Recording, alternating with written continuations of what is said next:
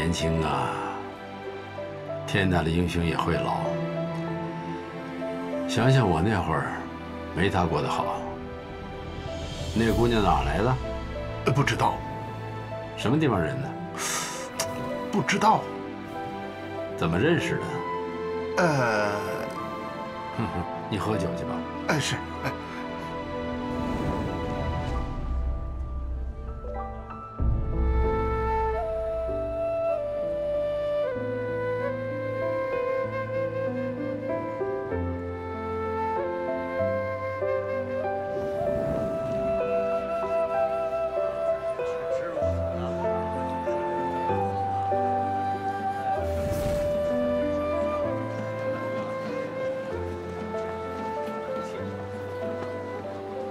皇上圣公安。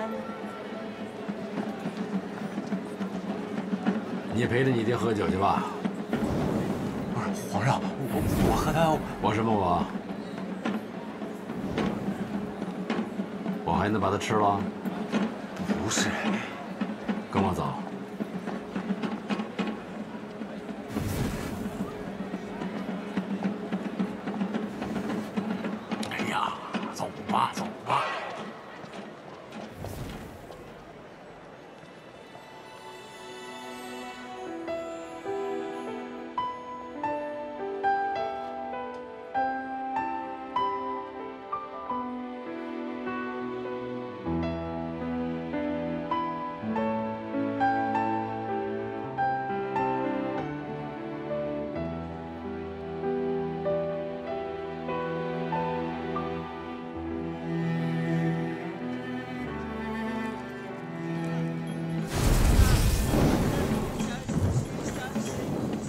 告诉你们足利将军，他送的贡品朕已收到，很感谢。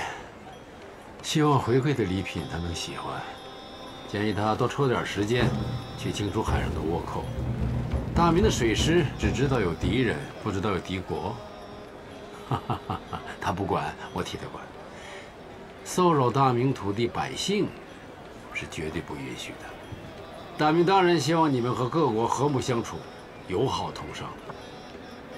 朝贡的时候遇上风了，有时候翻了船，请大皇帝赐予宁波回镇海一个小岛，晾晒货物，不知可否允准？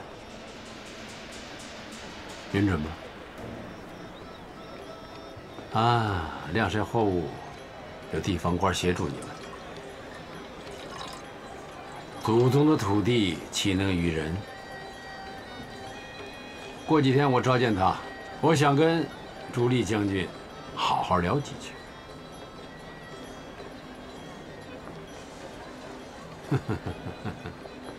你觉得怎么样？我不妨直说。大明疆土固然辽阔，却没有多余的土地。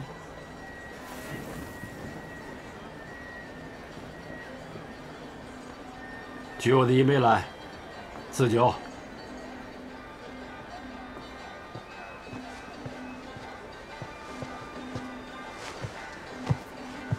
不必，这不拘礼。